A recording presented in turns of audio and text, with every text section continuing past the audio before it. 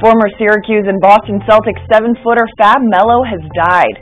Melo was found in his family home in Brazil where he went to bed Friday night and was found dead by his mother Saturday morning. The cause of death was not immediately known. Now, Melo had been playing basketball professionally in Brazil for the past few years. He made his mark in two years at Syracuse under Jim Boeheim and was part of the team that went 34 and 3 and 17 and 1 in the Big East in 2012.